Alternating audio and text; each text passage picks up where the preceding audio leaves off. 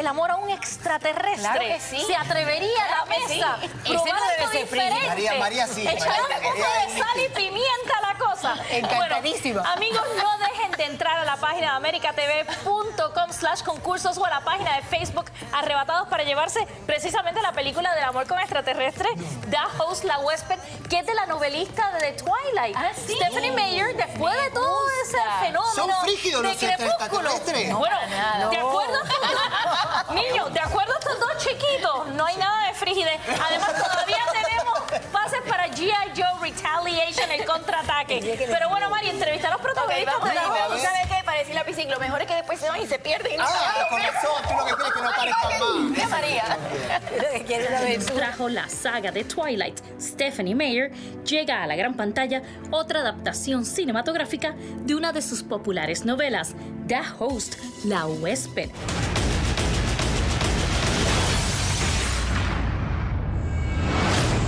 Hola Max. Hola. Señor Jake. Hola, chica.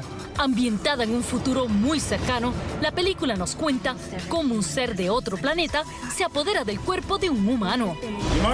El británico Max Irons y Jake Abel viven un intenso romance con uno de esos extraterrestres. Ian y Jared no se llevan bien por el amor de esa chica. Ian is one of the few in the Ian es el primero en la cueva que entabla amistad y comienza a sentir algo por este enemigo en forma humana. Es amor extraterrestre. Lo que pasa es que él lleva demasiado tiempo solo en la cueva.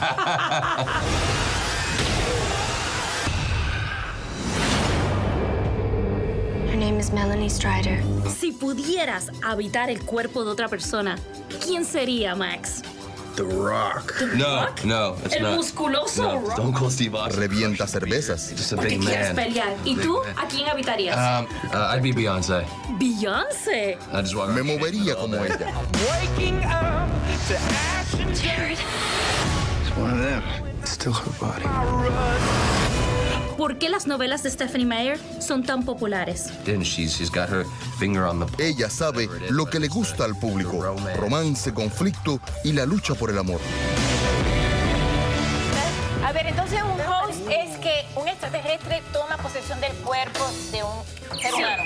En un futuro no, no quieren deshacerse de los humanos porque dicen que nosotros somos muy bélicos, que nosotros nada más que nos interesa la guerra, dañar el planeta, no cuidamos la tierra. Entonces los extraterrestres, quienes están buscando un planeta donde vivir, quieren venir a habitar nuestro bueno, cuerpo tu país, y vivir en Puerto en Rico, donde yo viví mucho tiempo, pude hacer programas allá y entrevisté mujeres que supuestamente han tenido sexo con extraterrestres, no. han tenido En el yunque, Mari. Mari. En explícale a mis extraterrestres. Ese Arturito, mamarracho, no es un extraterrestre.